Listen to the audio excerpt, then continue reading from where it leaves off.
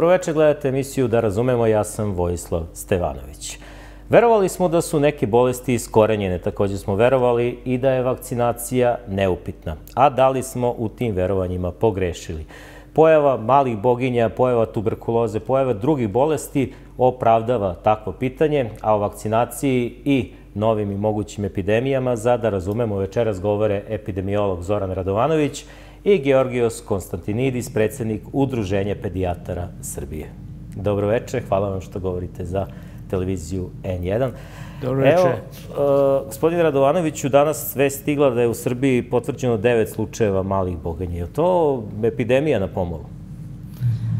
Pa to jeste mala eh, epidemija, eh, za sada lokalna, a kako će se stvari odvijati, vidjet ćemo. Zato što zbog eh, malog obuhvata vakcinacijom ili sada ili kasnije predstoji mnogo veća obimnija epidemija. To ne mora da se desi odmah, ali to vam je kao kad e, imate puno suvog granja u šumi, pa sad treba neko da baci pikavac, to može sada, može kasnije, pikavac može baš da e, padne na e, suvu grančicu koja je oslonjena u drugu ili izolovanu, onda neće biti većih razmera. Mi smo svedoci da u Bosni posle rata, recimo i u Federaciji, u Republici Srpskoj, postoje period od nekoliko godina, pa tek onda su buknule epidemije tih bolesti protiv koji nije vakcinisano, to je ta MMR vakcina, nije vakcinisano zbog ratnih dejstava, zbog vanrednih prilika. Dakle... Drugim rečima, ako se ljudi ne vakcinišu, neminovno je da će se dogoditi neka epidemija? Pre ili kasnije, da. I to je jedna velika sramota, zato što male boginje trebalo je do sada da budu iskorenjene. Znači da bolesti nema, da nema potrebe više ni za vakcinacijom. I e, recimo u Novom svetu, to je Severna i Latinska Amerika, oni su uspeli 2002. godine. Pa im se vratilo zato što e, eradikacija mora da bude globalnih razmera, da nestane bolest svuda. Svuda u svetu. To se do sada, zahvaljujući organizovanom delovanju zdravstvene službe, desilo samo dva puta za velike boginje. One su iskorenjene 1980. godine i za goveđu kugu, od koje ljudi ne obolevaju, ali indirektno su štete ogromne u ekonomskom pogledu, jer strada stoka. Od 2011. nema više goveđe kuge. Trebalo je da do sada nestane i poliomijelitis, znači e, dečija paraliza, od nje da nije bilo vakcinacije, svake godine u svetu bi ostajalo između 200 i 500 hiljada paralizovanih, trajno paralizovanih e, osoba. Tako da je to jedan ogroman uspeh, ali iz e, nekih e, anegdotskih razloga, zbog nekih nerazumnih pora. ima sad tu i dosta politike kada je reč o dečjoj paralizi, to je stalo, mada još uvek, evo, mi smo optimisti, možda će do kraja ove godine tu biti kraj, pa će se čekati još e, izvesno vreme, dve, tri godine, i onda će biti e, proglašena eradikacija. A za male boginje u Evropi trebalo je da prestane transmisija, prenošenje sa osobe na osobu još 2015. Pa je to odloženo za 2020. Evo, još uvek, ne samo u Srbiji, nego i u dobrom delu Evrope, to je problem i bit će. E, gospodine Konstantinidisu, e, Konstantinidis, pardon, e, jedno pitanje samo koje je zvezano za, ne samo za male boginje. Koje se druge bolesti mogu vratiti? Pa evo, ja nisam toliko optimistan što se polio virusa tiče, imajući u vidu ove, da kažem, infekcije ovim vakcinalnim sojevima. U svakom slučaju mislim da će ta priča sa polijom biti, biti zakomplikovana, ovaj, mada, mada je recimo nedavno afrički kontinent proglašen polio free. Ali ono o čemu mi mislim u ovoj sad već situaciji možda delo i paranoidno, ali definitivno sad iskustvo poslednjih par godina nas uči. Ja mislim da mi ne treba da zaboravimo ovaj, ni na neke bakterijske bolesti koje naravno nisu nikada ni bile blizu eradikacije, govorimo o pneumokoku, odnosno o pneumokoknoj infekciji, a osim toga eh, imamo eh, priču eh, koja je u dečjem uzrastu posebno, posebno interesantna, a to je taj respiratorni sincicijalni virus i rotavirusne infekcije. Dakle, to su sve preventabilne virusne infekcije sa kojima, će se, sa kojima ćemo se sigurno susretati u budućnosti, možda i više nego do sada. A šta znači preventabilno kada to kažete? Pa govorim da postoji vakcina protiv, protiv njih koja se ovaj, još uvek ne primenjuje sistematski ni svuda u svetu ni kod nas, ali je definitivno sve veći i veći problem. Posebno ovaj respiratorna respiratorni sincijalni virus imajući u vidu e, da preživljava sve veći broj prevremeno rođene novorođenčadi, ali to je možda neka malo specifičnija priča kojom ne bi trebali da zbunjujemo javnost, ali ja kažem, skrećem pažnju, a profesor Radovanović e, to sigurno bolje zna nego ja, znači mogu se vratiti sasvim izvesno i neke bakterijske bolesti. E, na kraju krajeva, tuberkuloza koja u načelu nema veze, ajde da kažem, ni sa a akutnim, aktuelnim izbivanjima smanjenog obuhvata, imajući u vidu da je obuhvat BCG vakcinom praktično isti već godinama, jer se ona daje na rođenju, ali imajući u vidu da sve veće raslojavanje, ako tako mogu da kažem, sve veće socijalne razlike u našem društvu sa jednim velikim brojem ekstremno ili veoma bogatih ljudi i čini mi se sve većom grupom veoma siromašnih, ne treba ni tu mogućnost isključiti, odnosno da se e, tuberkuloza, odnosno taj tuberkulinski indeks poveća značajno više od jedan i da nas svrsta opet u neku grupu zemalja koja ima veći rizik za pojavu tuberkuloze, pre svega kod dece. A kada govorimo o malim boginjama, hajte da nam objasnite koliko je to opasna bolest? Pa, ajde ovako da kažemo, ja bih samo rekao još jedan podatak, možda da upotpunim sliku koju je globalno globalnu e, rekao profesor Radovanović. Od 2000. do 2018. godine, prema podacima Svetske zdravstvene organizacije, u svetu je spašeno 23,5 miliona dečijih života. Dakle, to je otprilike u ovom trenutku jedno tri Srbije, najmanje. Dakle, to su zvanični podaci za poslednjih svega 18 godina. U tom smislu jasno da je to bolest koja, pored teških kliničkih oblika koje može da izazove, može da izazove i smrt. E, ja ovo kažem iz jednog prostog razloga što e, čini mi se da e, govoriti našem narodu uh, ili da kažem u ovom aktuelnom trenutku ljudima s aspekta zdravstvenog vaspitanja možda i nema mnogo koristi sem ako se ne spomene ovaj najgori ishod i ukoliko se ne, proja, ne pojavi element straha. Dakle, ta smrtnost je u zemljama u razvoju, odnosno u siromašnim zemljama gde se i najviše umile, umire od morbila, čak i 2 do 3%. U razvijenim zemljama je ona oko 1 na 1000, ali ja podsjećam da smo mi 2016. na, 2000, na 2017.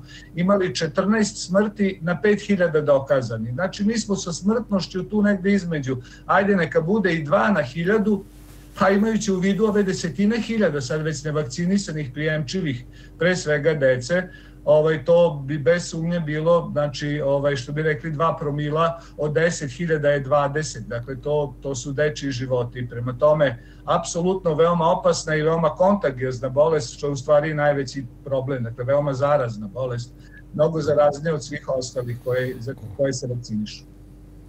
Profesor Radovanoviću, e, stalno se govori i vrlo često kada pričamo o, o vakcinaciji, ajde ne kažem stalno, ali vrlo često na taj, imamo taj neki anegdotski pristup, pa da kažemo mi kad smo išli u školu, onda dođu u učionicu, pokupe nas i sve nas odvedu na vakcinaciju, niko nikog ništa ne pita, ne zove roditelje, nema nikakva potvrda, a danas je, je ostavljeno previše e, izbora za, za vakcine. Čim smo došli do toga da je taj obuhvat toliko malo?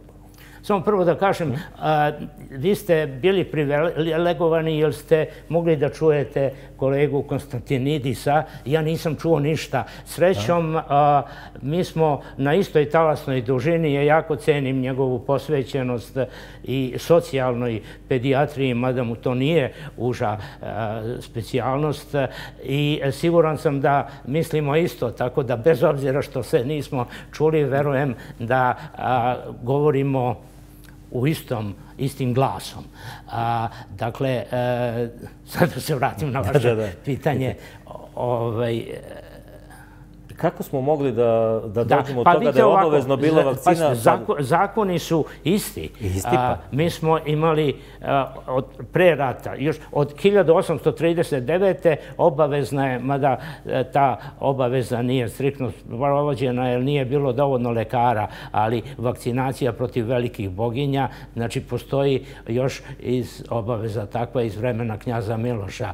A 30. godina uveli smo pred drugi svetski rat rezultat još dve e, vakcinacije. Obnovili smo 46. i 47. Od 47. je vakcinacija protiv tuberkuloze obavezna i to je isto u našim zakonima, sve isto piše. Jedino što se e, ranije nije postavljalo pitanje u onoj velikoj državi, ipak je to bila ozbiljna država i ljudi su verovali autoritetima, verovali su vlastima, pa onda i zdravstvenim vlastima. Mogli su ideološki da se ne slažu, ali nije se postavljalo pitanje da će ovi da mi ubiju dete.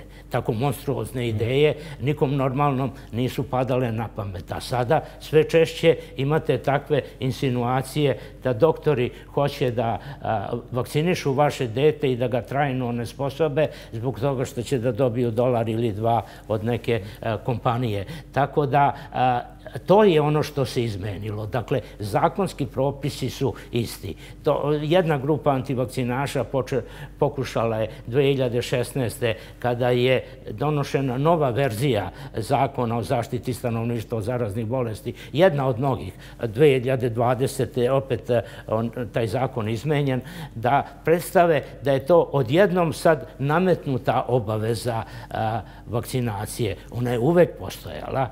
Dakle, a, jedino odnos je bio drugčiji. Ljudi su čak e, zabrinuto vodili decu da slučajno ne propuste termin. Ali ono što je ogromna razlika, u to vreme bilo je mnogo zaraznih bolesti. Ja sam kao dete e, pamtio decu koja su ostala paralizovana, koja su ostala sa trajnim posledicama zbog difterije, poneko je i nestao od mojih školskih drugova tada krajem 40-ih, početkom 50-ih.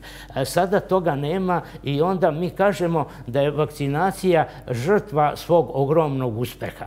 Dakle, mi smo vakcinacijom postigli da vi sada ne vidite bolesnu decu od tih bolesti. Recimo, ja sam jedan od malog broja lekara, zahvaljujući svojim poznim godinama, koji je video sve te bolesti. Od 80. mi nemamo difteriju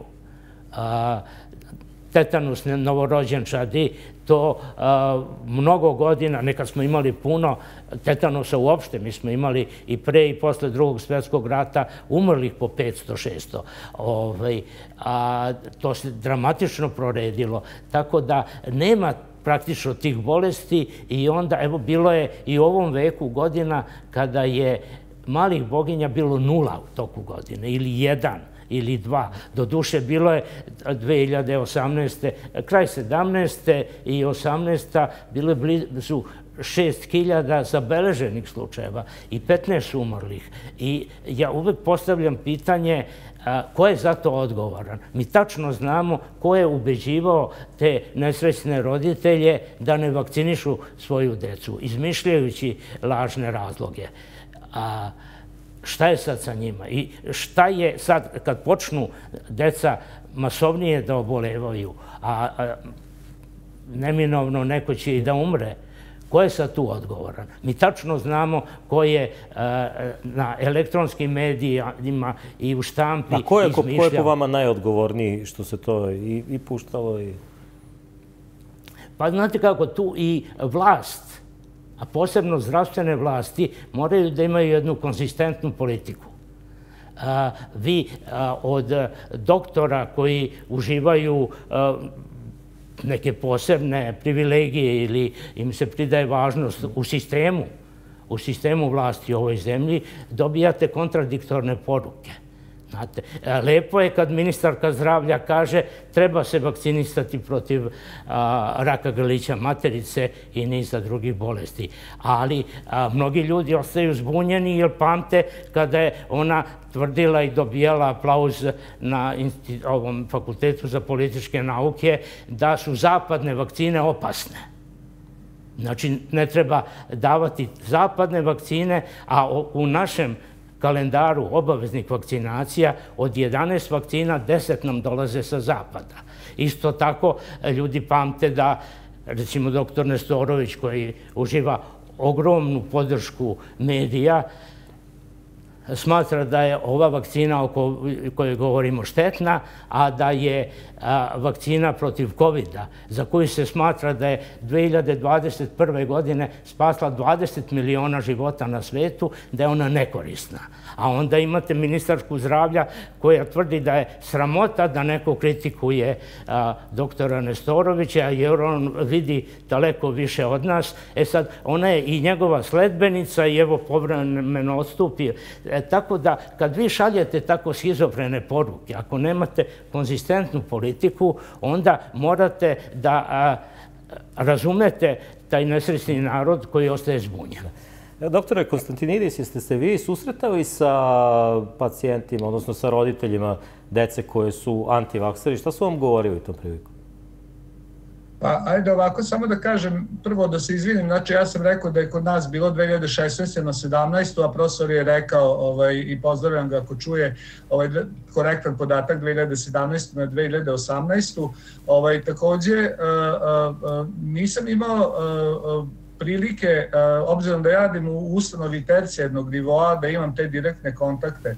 Nažalost, u kontekstu ove priče e, moram da kažem da društvene mreže imaju veoma, veoma veliki značaj. A zašto sada to kažem? Zato što e, je na, na adresu ovaj, našeg udruženja, na mail adresu našeg udruženja i na web sajt u vreme ove pandemije COVID-a ovaj, stizalo niz uvreda i pretnji i da kažem komunikacija. I ja sam onda pokušao da argumentima te ljude koji pretpostavljam da su roditelji ubedim na neki način u ispravnost stava o, ovaj, o, o potrebi vakcinacije i tako dalje. Međutim, vi ne možete, ja mogu da pričam sa akademikom Radovanovićem ili sa nekim uh, od kolega koji se bavi tim problemom uh, o vakcinaciji da suprostavljamo argumente. Ali kada vi uh, svoj, svoj lični utisak ili mišljenje izjednačavate sa strukom i sa medicinom zastavom na dokazima na hiljadama slučajeva, onda je to bitka u kojoj ste unapred osuđeni na propast, jer vi na te argumente nemate nikakve argumente. Jednostavno, teorije zavere, i, i teorije kojima smo mi kao narod u poslednje vreme skloni su mnogo zavodljivije od e, tačnih podataka, pa u krajnjem i zahteva za intelektualnim naprezanjem da bi nešto pravilno protumačili. Dakle, eto, to je ono što bih mogao, čak bih rekao, eto da, da, da na neki način u jednom trenutku ovaj a, a, neću da, da govorim o kolegama zaista u ovom trenutku ovaj a, ali jednostavno smo bili jednom izluženi jednom jednom rekao bih teroru neznanja jedne velike grupe ljudi koja u suštini se ne bavi tim problemom. To je kao kada bi ja sudio o tome kako neko peva ili, ili bih rekao i onda taj svoj utisak i te kako dobro opisao nekim, nekim super zavodljivim rečnikom. Dobro, a je, još jednu stvar bih volio samo da, da, da mi razjasnite. Obično jedan od argumenta je, ako su druga deca vakcinisana, ne mora moje da bude. Kako to, da kažem, i oni koji su vakcinisani, jesu u opasnosti ako nije dovoljan broj ljudi vakcinisan? Pa naravno, ovaj, to je opšte poznata činjenica i to je stav koji je pod znacima navoda ili bez njih pio vode u nekom trenutku dok je taj obuhvat vakcinacije u našoj zemlji bio preko 90%, govorimo o morbilima. I tada su i oni redki koji su bili nesavesni, odnosno njihova deca bili zaštićeni. Međutim, sada je to potpuno pogrešno. I ono što želim i ovoga puta da naglasim, mi se deklarišemo kao humano društvo, međutim činjenica je da na način razmišljanja koji ste vi sada spomenuli, pod znacima navoda baš me briga, moje dete je zaštićeno jer su drugi vakcinisani, mi u stvari najvećem riziku izlažemo upravo one najosjetljivije, odnosno one koji zbog medicinskih razloga, to su naj, najčešće neka uh, imunološka, uh, imunološka oboljenja ili neka teška srčana oboljenja ili druge bolesti koje su medicinska kontraindikacija za vakcinaciju, bivaju najviše izložena. Dakle, mi našu najosjetljiviju, najvulnerabiliju kategoriju stanovništva izlažemo riziku ozbiljnom da dobije najteže oblike i naravno da se završi na najgori način. Dakle, to je jedan od argumenta koji apsolutno ne pije vode. Prvo nije tačan, a drugo je vrlo, vrlo nekorektan, neetičan i nehuman u krajnjem. Evo, profesor Radovanoviću, kako je moguće da se izbegne obavezna vakcina? A, samo da kažem, imao sam zadovoljstvo da na kraju ipak čujem kolegu Konstantinidisa, zato što sve vreme sam bio uskraćen i naravno, apsolutno se slažem. Ovaj, a, vidite, stvar je u tome da do pre 10-20 godina to pitanje se nije uopšte postavljalo. A, a evo sada sve češće roditelji a, nalaze načina da dobiju potvrdu da je dete navodno bolesno ili ima neke e, razloge, alergično je na jaja, mm -hmm. na primjer, pa ne može da primi tu vakcinu. Uzgred u Americi a, alergija na jaja nije uopšte razlog da se ne daje ta vakcina. A, međutim, znate, ja bih voleo sad kad se ova epidemija zahukti, da se obolili deci, prvih dana bolesti uzme krv i da se vidi da neka bar od njih koja su navodno vakcinisana nemaju odgovarajuće antitela imunoglobuline G. Ove, ovaj, to znači da je vakcinacija bila fiktivna i javna je tajna i kolika je cena takve potvrde. Tako da, e, nažalost... E, A to znači da i među doktorima ima dosta onih koji pristaju Pa ne, mora da, bude, ne mora da bude dosta, ali dovoljno je da postoji poneko ko će da da takvu potvrdu. Međutim, e, tačno je da i e, među doktorima ima onih koji nisu sigurni ili do skora nisu bili sigurni u opravdanost vakcinacije, prosto zato što nisu imali prilike da vide male boginje i isto su se rukovodili tom logikom, ajde druga deca će biti vakcinisana, pa će moje ili ovo koje sad pregledam uh, ona ostati pošteđeno. Prosto onako uh, znaju koliko je vakcina bezbedna, ali sad što da dete eventualno ima malo povišenu temperaturu ili da bude kmekavo dan ili dva, ajde da ga lišim te uh, neugodnosti, a posljedice su jako ozbiljne. Mhm. Vi stalno govorite kada se e, govori o vakcinaciji, vraćate se na to pitanje autoriteta i poverenja. Pre nekoj, u, ranijem periodu se nisu dovodili u pitanje ti zdravstveni autoriteti. E, sad ima mnogo više prilika da se ljudi na različit način informišu. Ima mnogo i internet raznih, i foruma, i članaka, i svega što ljudi čitaju. Dakle, nije, e, ne donose oni odluke na osnovu da kažem, nekih svog ličnog osjećaja, nego na osnovu nečega što su pročitali. Odakle taj, to, a to nije samo odavde lokalno, sad moje pitanje, odakle toliko e, otpora prema vakcinama i svuda u svetu, pa i toliko truda da se pišu tako i obimni članci, da se ulože ta energija, da se ljudi odbijaju od vakcina? E, to su u pitanju složeni, jako složeni razlozi. Sad da, Mislim, ne vidim da iko ima interes u tome da, sada ulože, da investira. Ima, kako ne. Ali, e, e, vidite, tu postoje teoretska objašnjenja. To je vreme postmodernizma, postistine.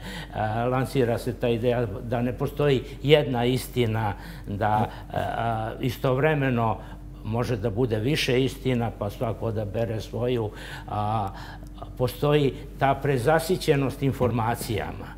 Tako da, a, to je e, teror informacija, e, neko je nazvao, da u tom obilju e, često oprečnih informacija, vi kao malo dete uvedeno u diskoteku, od one buke i onog svetla, vi zatvorite i oči i uši i odbijate da primite bilo kakvu poruku.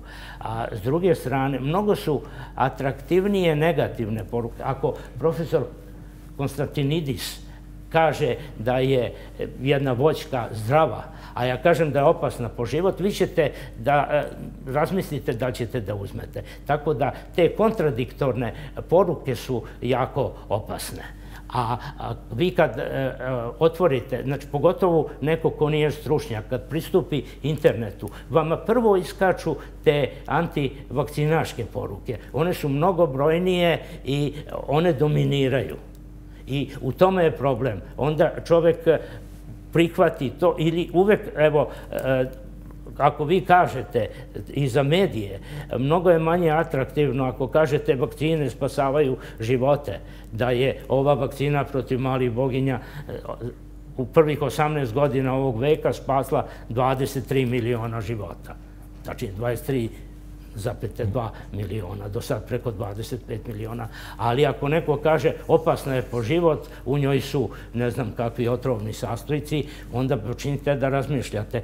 Tako da ja vidim krivce, znači ne u tom sluđenom narodu zbunjenom kontradiktornim informacijama, nego u onom malom broju aktivnih antivakcinaša koji lansiraju e, takve poruke. A zašto to rade? E, interesi su različite. Neko e, iz lične koristi, zato što vi imate toga na televiziji. Ne treba vam vakcina, dovoljno ako uzimate ovaj suplement za koji on dobija pare. A to je poznato i na zapadu, mnogi su se tako obogatili. Imate ljudi koji imaju jedini cilj da im se slika pojavi na televiziji ili u novinama. Dobro, ima neko ko se stvarno plaši te vakcine i ko stvarno veruje da, da će mu naneti... Pa, e, u, u tome je stvar. Tih antivakcinaša relativno je malo. 1 do 2 posto e, u mnogim zemljama e, sveta, kod nas oko 5 posto. A, međutim, postoji onda mnogo veći broj tih neodlučnih koji su pod uticajem takvih e, a, lažnih informacija. A ti koji ih lansiraju, eto, to je različita, to je menažerija različitih a, interesnih grupa, psihopata, dalje. Ima ljudi koji uživaju u tome da kad su bili mali, oni su vezivali konzervu mačku za repu, uživali. Eto, zadovoljstvo im je da proizvedu neki efekat, makoliko štetan bio.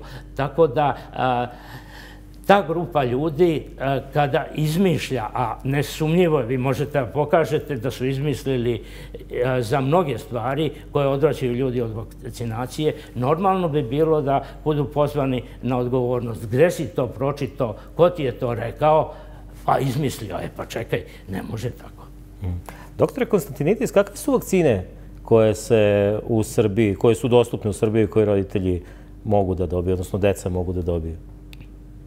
Vakcine su kao i svuda u Evropi, dakle one su savremene, proverene i bezbedne. To bi bilo najkraće rečeno. Ali upravo to što ovaj- sad vi kad kažete, izvinite, kad kažete svuda kao i u Evropi, e to jeste ono što jeste od argumenta, jedan od argumenta za oni koji se protive vakcinaciji, pa kažu znamo šta se dešava u toj Evropi, pa znamo kako, koliko postoje istraživanja, pa oni tamo nemaju svoju slobodu nad svojim telom, a mi ovdje imamo. Dakle, To je istovremeno i argument koji se koristi i za i protiv.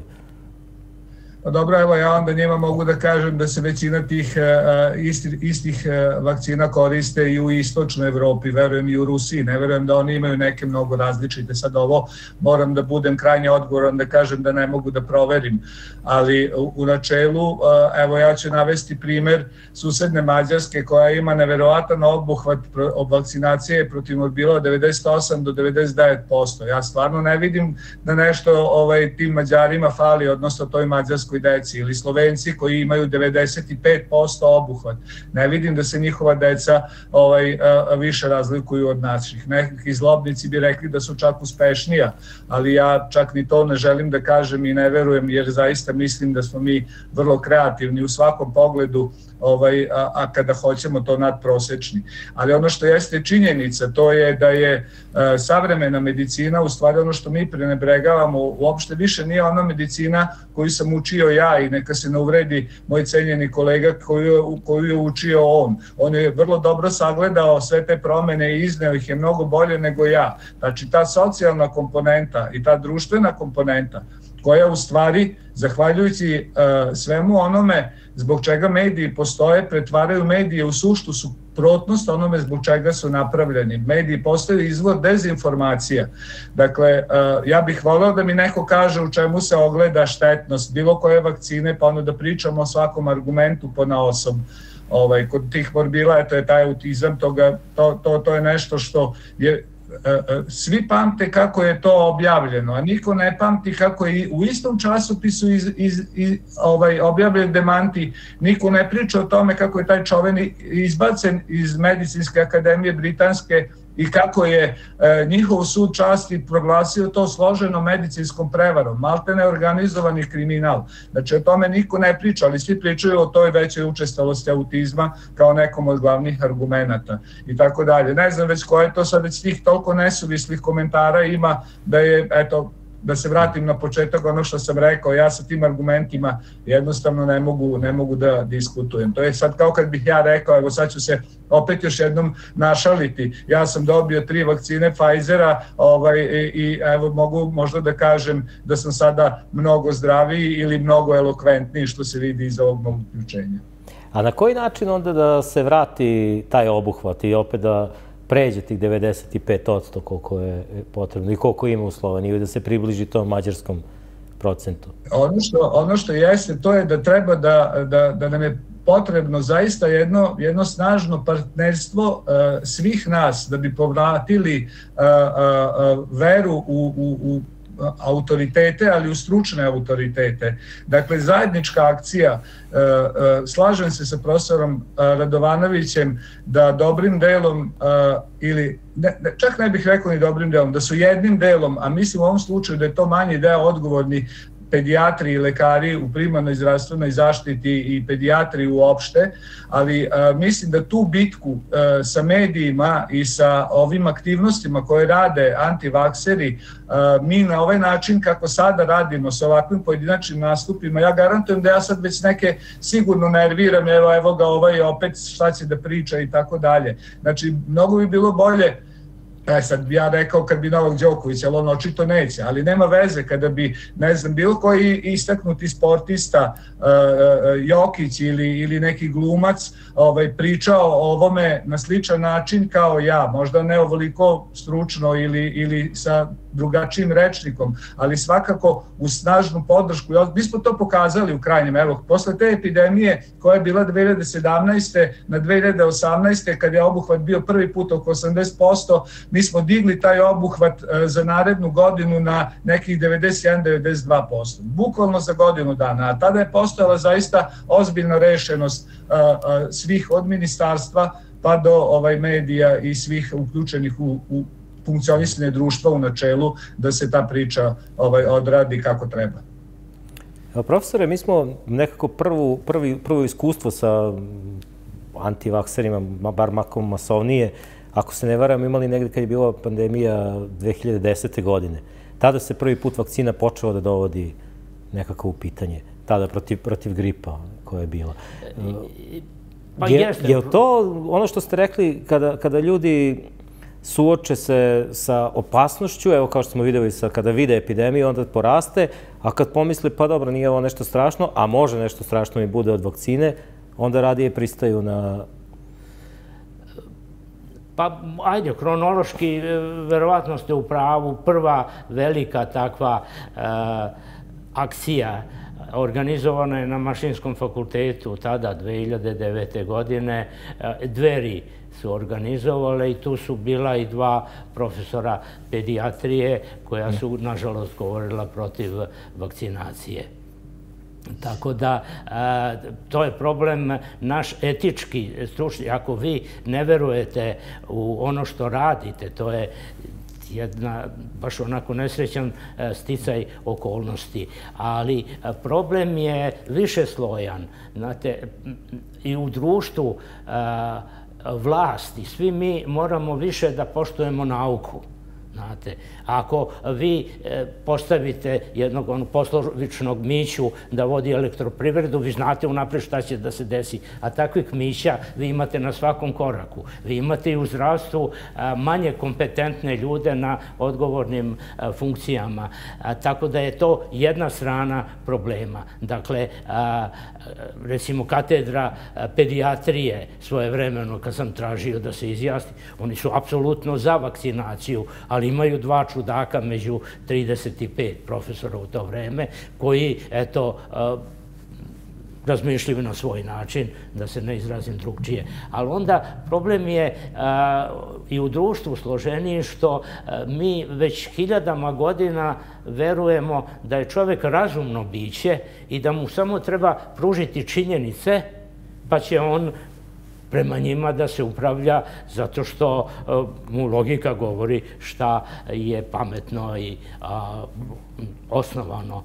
A e, ima već 40 godina neko je, jedan Amerikanac, Fischer se zove, on je e, krenuo drugim putem. On kaže, čoveku je mnogo bliže ono, dobra priča ne šta je apsolutna istina i šta je naučno dokazano, nego još e, iz e, plemenskog perioda, ono kad se okupe oko pa, vatre, ono što ispriča vrač, to je istina.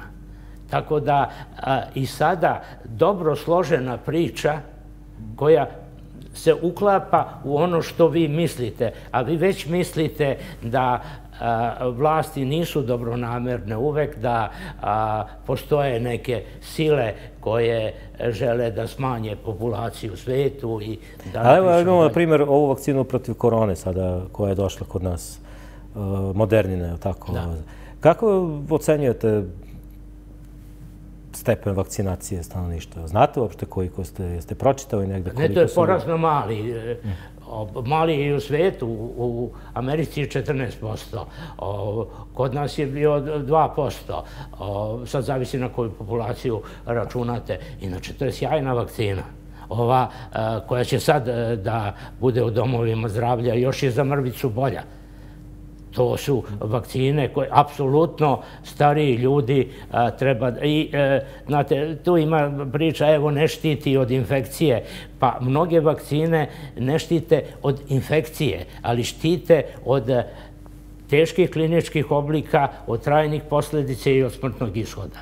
Dakle, to je vakcina koja u visokom procentu, e, ja sam bio zapanjen, efikasnošću i efektivnošću ovih prvih vakcina. One su sprečavale nepovoljne ishode u 90-95% izvanredno vakcine koje su napravljene u rekordnom vremenu. I to ne samo ove zasnovane na najnovim tehnologijama, nego i ove, uključujući rusku, ove vektorske takozvane. A kineska mrtva je zbog, to je zastarala tehnologija tradicionalna, one su malo lošije štitile. Ali, apsolutno, to bi bila važna poruka kad ste već pokrenuli tu temu, a ljudi stariji, ljudi koji imaju neku hroničnu bolest, koji nisu preležali COVID recimo od avgusta ovaj, i nisu vakcinisani poslednjih šest meseci ili četiri do šest meseci, treba da se podvrgnu vakcinaciji. Pitam vas zato što nekako se kod nas u društvu sada ponašamo kao da više ne postoji ni korona, a vidimo ima i nekih novih sojeva koje se pojavljuju čitamo šta se dešava u Kini. Kina je poseban slučaj zato što Kinezi su uspeli tri godine da drže situaciju pod kontrolom. Pa se sad razbuktalo. Ali pa, postoji mogućnost da se sada ponovo pojavi neki veliki talas nekog novog soja korone koji... Vidite, što se Kine tiče, samo to da mhm. razjasnimo, cela logika bila je u tome da onda umeđu vremenu oni vakcinišu svoju populaciju. E sad, oni su dali po jednu dozu su, ali e, nisu baš e, išli na revakcinaciju e, masovnih razmera i nisu prihvatili ove tehnološki bolje zapadne vakcine, to im je bilo ponuđeno. Zato što u svetu je do sada potrošeno blizu 14 milijardi vakcina, proizvodi se sve više, e, da je Kina iskazala potrebu, dobila bi u roku od e, dva, tri meseca potrebne količine, ali to je valjda bilo pitanje nacionalnog e, ponosa. A pitali ste umeđu vremenu... Pitao sam da moguće da se očeku, da bi moguće da se desi opet neke novi zamah. Virus stalno mutira, ali te promene idu u smislu lakše prenosivosti a ne teže kliničke slike. I verovatno će tako i ostati. E sad, koliki je potencijal tog virusa da se menja, vidjet ćemo, ali nesumnjivo da ono što je najgore je iza nas. Jer mi smo pre tri godine bili takozvana virginalna populacija. Niko nije imao imunološka, imunska iskustva prema tom virusu. Sada skoro svi naši građani ili su vakcinisani ili su bar jednom preležali bolest. To je e, s te strane, sa strane otpornosti organizma, radikalno drugčija situacija. I zbog toga možemo da budemo i mirniji. Hvala vam. Hvala vam najlepše što ste govorili večera za televiziju N1. Hvala doktore Konstantinidis i vama što ste se uključili i što ste nam razjasnili e, pre svega na koji način ove male boginje mogu da utiču i na mlađu populaciju, ali i na način na koji se doktori eto suočavaju sa roditeljima koji su e, koji se protive vakcini. Hvala vama, dragi gledalci. Ostanite uz televiziju N1. E, Prijetno večer.